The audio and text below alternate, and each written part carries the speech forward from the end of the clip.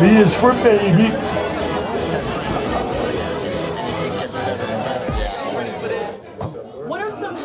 Activities you enjoy with your five grandchildren?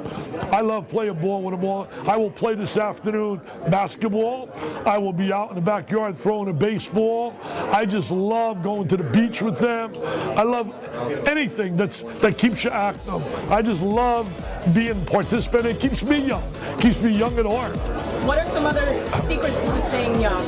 I think secret to staying young is waking up every day with a purpose for that day.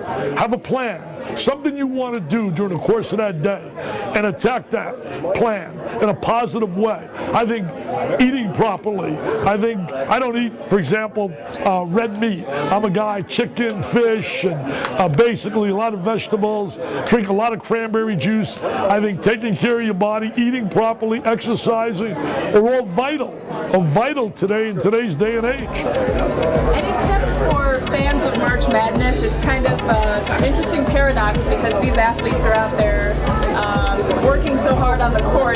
sitting there stuffing our faces watching them. Any tips for being a healthier fan?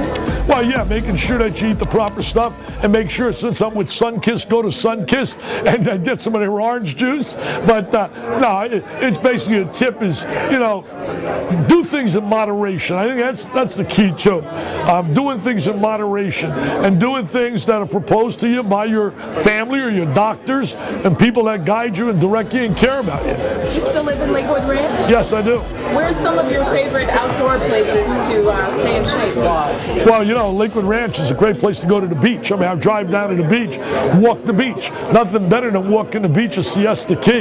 You go down there, walk that white sand, and it's healthy. It clears your mind, takes away the stress. I love when I play tennis. Um, I play tennis at least three to four days a week. Play singles. Play against a young, a lot of young ladies, and they run me to death. But uh, I exercise by doing that, and then I walk. I walk a minimum of about 45 minutes every day.